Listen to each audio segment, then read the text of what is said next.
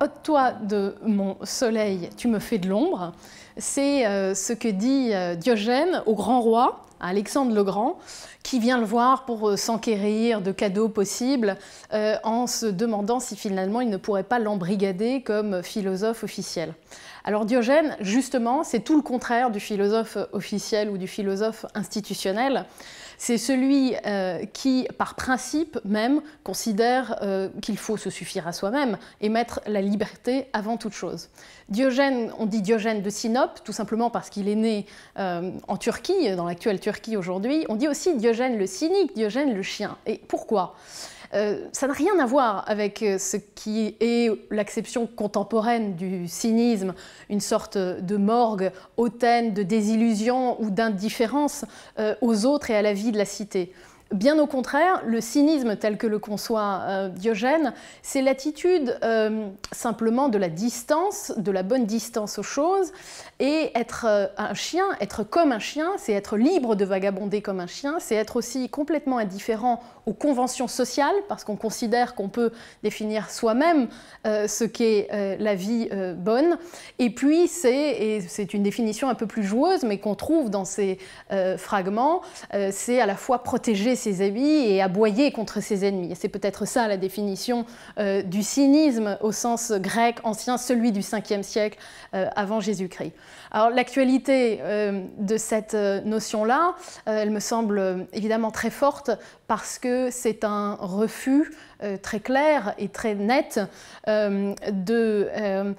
considérer que le pouvoir, simplement parce qu'il est pouvoir et qu'un roi débarque et veut vous faire des cadeaux, a quoi que ce soit de plus à dire sur la sagesse que euh, finalement euh, l'homme du commun, celui qui peut choisir, s'il en a envie, de vivre euh, dans un tonneau. En réalité, ce n'était pas un tonneau, c'était probablement une amphore, si ça devait être un lieu précaire, tout simplement parce que c'est un lieu qui n'est pas fixe, un lieu dans lequel on ne se fixe pas. Il n'y a pas de toit, parce que tout toit serait d'une certaine manière accepté d'être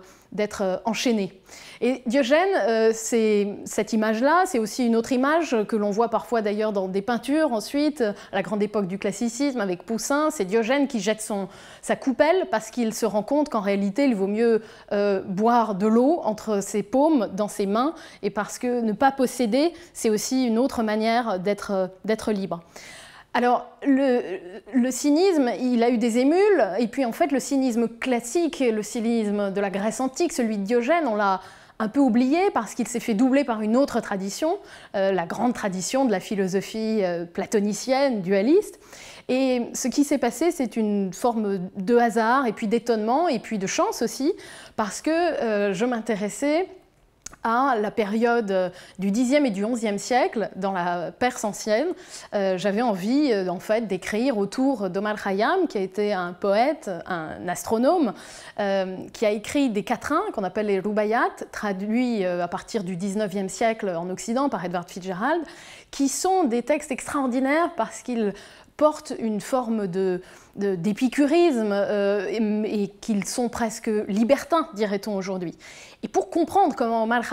euh, au XIe siècle, euh, en Iran, peut écrire de tels textes, j'ai voulu savoir si la tradition matérialiste, celle que défend Michel Onfray par exemple dans sa contre-histoire de la philosophie,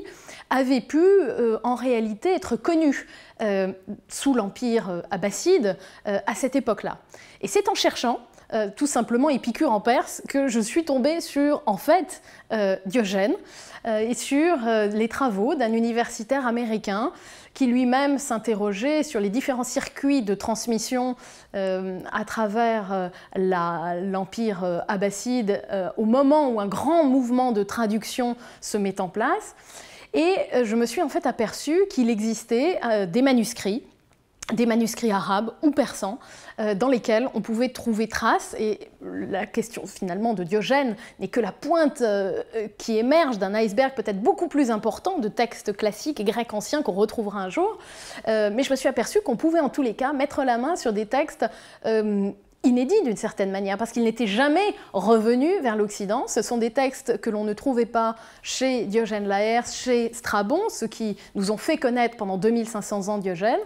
Et là, on découvre euh, un nouveau euh, Diogène euh, qui ressemble fortement à l'ancien, mais avec de petits accents, évidemment dus à la traduction, et qui nous parle très fortement. Alors, c'est d'autant plus passionnant que ce qu'on peut se demander, mais là encore, c'est seulement une voie ouverte pour peut-être de futures recherches ou de futures rêveries, on peut se demander est-ce que toute cette euh, tradition-là n'a pas laissé d'autres traces qu'on n'associe pas directement avec Diogène, mais qui en fait lui ressemblent fortement? Et je pense notamment euh, à toutes les, histoires apparemment absurdes, mais en fait empreintes véritablement de sagesse de Nassereddin Hoxha, euh, qui circulent en Turquie, dans l'Empire ottoman et dans toute l'Asie centrale en général, un ou deux siècles après Omar Khayyam, au XIIIe siècle c'est-à-dire un, un, moment où effectivement beaucoup d'auteurs grecs anciens, et parmi eux Diogène, ont été traduits et euh, commencent peut-être finalement à faire partie d'une sorte de